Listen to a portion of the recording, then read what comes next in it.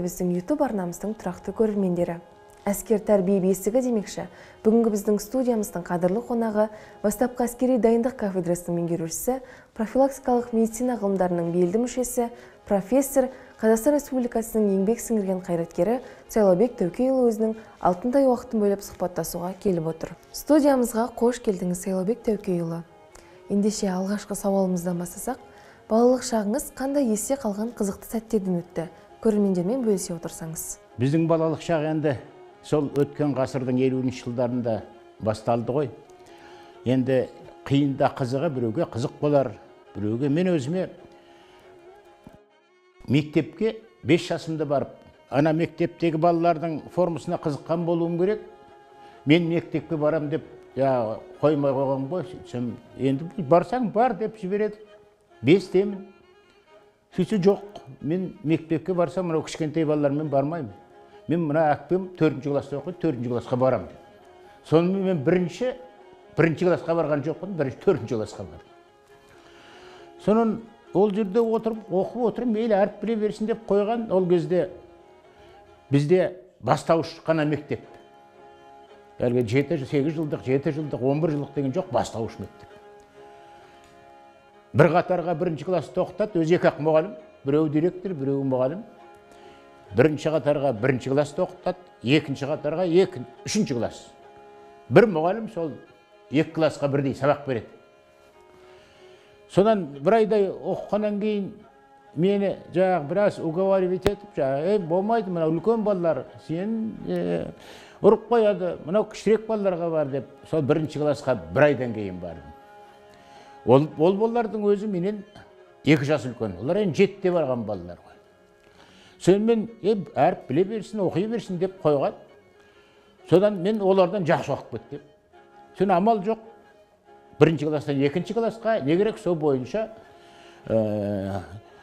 алпыс екі бір мың тоғыз жүз алпыс екі алпыс үшінші он бірінші классты бітірдім.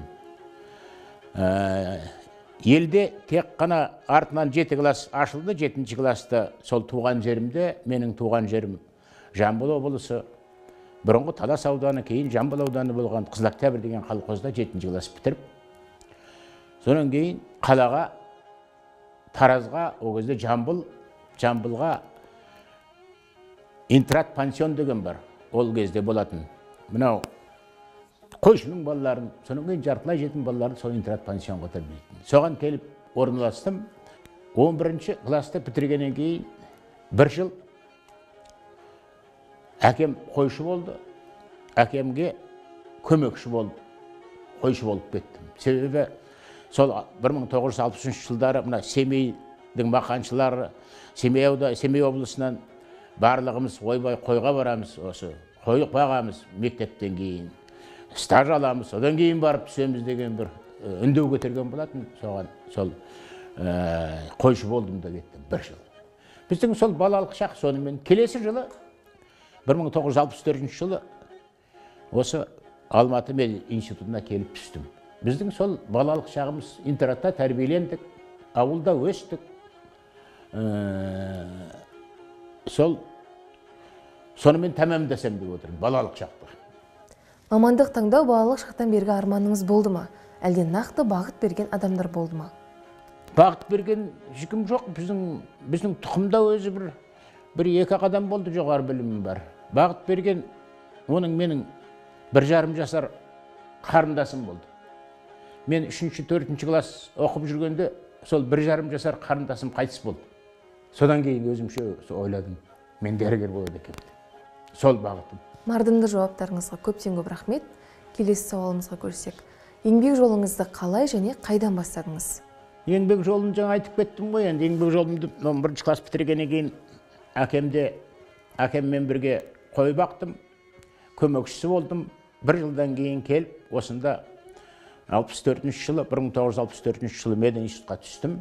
Ә, педиатрия деген факультет. Оны сол жетпісінші жылы бітірдім. Алты жыл оқимыз біз ол кезде. Содан кейін тараз қаласында барып бір жарым екі жылдай балалар хирургы деген мамандықта қызмет жасап содан осында алматыға келдім. Алматыға келіп енді бұнда да бірінші детский хирургия деген бар сонда ә, хирург болдым. Екі жылда күніге 13-14 дежурство аламыз. Хирургпыз. Ара ақша жетпейді. Сонымен бұл елге кететін болдым мен. Елге барайын қой. Болмайды екен. Екі баламен асырай алмаймын. Содан министерствоға бардым. Оның ондағы естігенім осы қаладан 30 километр арырақ барсаңыз подъемный төлейді екен деген. Екі балам бар әйелім бар төртеумізге шынымен подъемный төлейтін болса мен хирургпын әйелім педиатр. Жақсы екен ғой деп министерствоға барсам уже үш жыл болып қалған.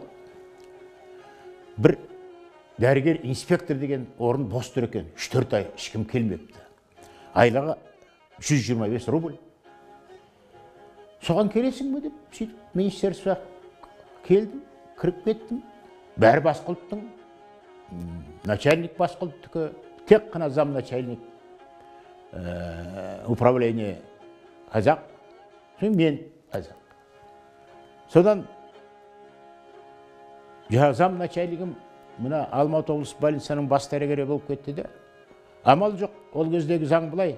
Бірінші бастық орыс болса екінші бастық қазақ болу керек. Бірінші бастық қазақ болса екінші бастық орыс болу керек. Сондай совет үкіметінің бір установкасы болады. Мен жаңадан келген мен исполняющий обязанность замначальника бола қалдым сегіз айдың ішінде.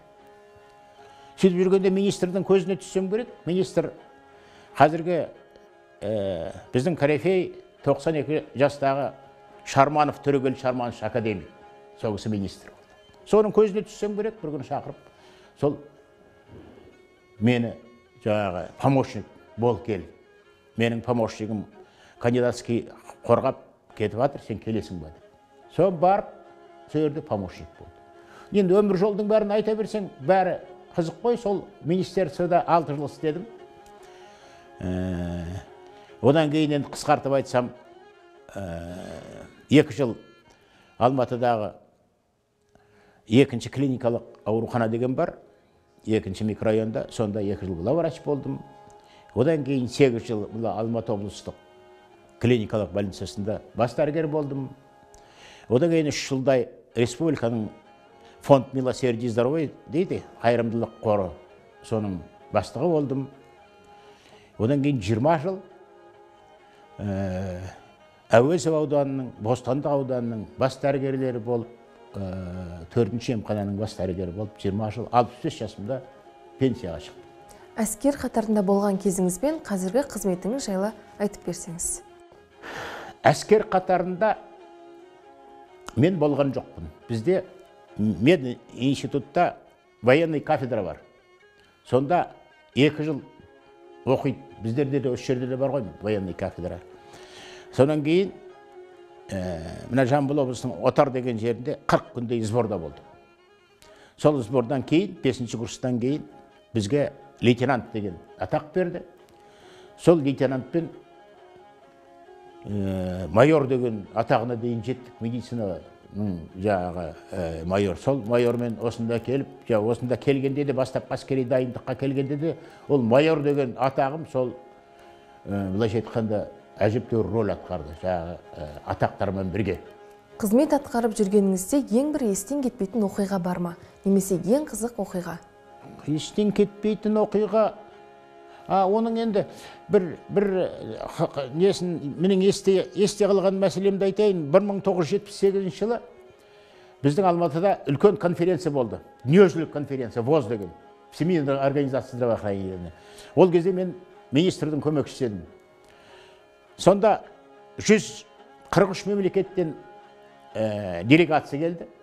Қазір енді 156 деп жүр 170 деп жүр енді біздің совет үкіметі де ол кезде бір мемлекет 16-17 мемлекетке ыдырап кеттік қой сол сықылды қазір енді әртүрлі статистика айтылып жатады соның ішінде америкадан эдвард кеннеди деген сенатор келді анау баяғыда алпыс үш алпыс төртте атып тастаған кеннедидің бауыры соны аэропортқа шығарып салып төрегел шарманович жаңағы шығарып салып кетіп бара жатқанда машина тұрып қалып бір кішкене несі болған керек? Сыртқа шығып жаңағы кеннеди қалтасынан сигарын алып сигарын тартып тұрған. Бір жақта водитель айтқан ойбай біттік уже кеттік кеттік сөйтсе жаңағы сенатор американың бізге олар бір, бір ана сигарасын табанының астына бүйтіп өшіріп қалтасына салып ары қарай кетті. Сонда айтамыз анау не сигара біздікі болса темекісін лақтырып тастайды ғой.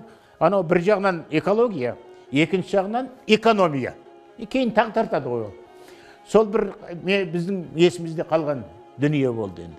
Сайлаубек тәукеұлы 2012 жылдан бастап бастапқы әскери дайындық кафедрасын басқарып келе жатырсыз.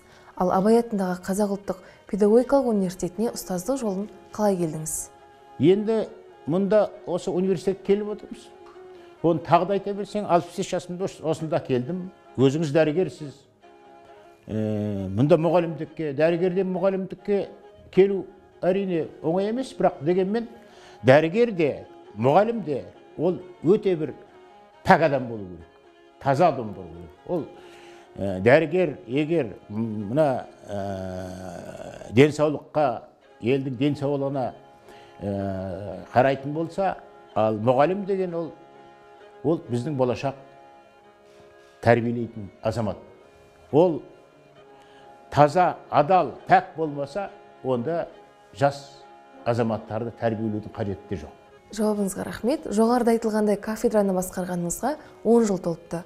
Осы уақыт аралығында кафедраның жетістіктерімен бөлісе отырсаңыз. Мына ең бірінші материальный базаға көңіл аудардым. Себебі ол кезде бұдан 10-12 жыл бұрын ауылда тұрмақ қалада компьютерлер жоқ қой. Бізде бір үш компьютер бар екен оның өзі ескі біреуі ғана қызмет жасайды екен. Ал ауылдан келген бала ол жаңағы мына жаңағы ә, егер материальный база дұрыс болса олар с удовольствием оқиды. Ә, одан кейін мына атақты біздің ә, қолбасшымыз ә, бауыржан момышұлы атамыздың 105 жылдығына арнап үлкен аудитория аштық. Барлық мебелімен қазір осы уақытқа дейін жұмыс жасап тұр. Ә, ол да бір бізге кішкене енді материалдық базаны дұрыстағаннан кейін енді кадр мәселесі. Кадр мәселесі себебі мұғалімнің деңгейі биік болса онда жақсы азаматтарды дайындап шығасың студенттерің де жақсы. Одан кейін жастарға көңіл бөлдік. Жастарға көңіл бөлдік жастарды жаңағы магистратурасын бітіріп докторантураға түсуге сендердің болашақтарың алда айналайын. Доктора екі үш жыл талаптанып жүріп түскен азаматтар бар.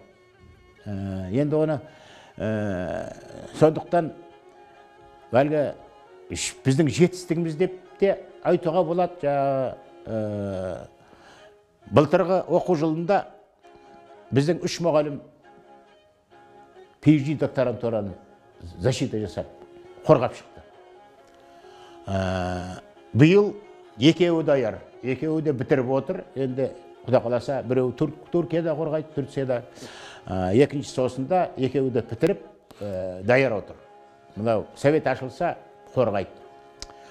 Тағы біреуі екінші курс докторантурада оқиды біздің енді біздің қазір мына степенен істейді несі ғылыми атақтары бар кафедра біздің елу төрт процент қазір ғылыми атақтары бар сондықтан біздің осы не тағы енді егер қандай жетістіктеріңіз бар десеңіз біз республика бойынша үш жыл қатарынан барлық көрсеткіштеріміз бойынша бірінші орын алдық образовательный программа дейді бүкіл республика бойынша сонда бірінші орын алдық тағы да осы азды азды көпті осындай осындай жетістіктеріміз бар құрметті сайлаубек тәукейұлы өзіңіздің алтындай уақытыңызды бөліп сырлы сұхбат бергеніңізге көптен көп рахмет рахмет рахмет жаным жұмысың жемісті болсын құрметті ютуб арнамыздың тұрақты көрермендері келесі кездескенше сау саламатта болыңыздар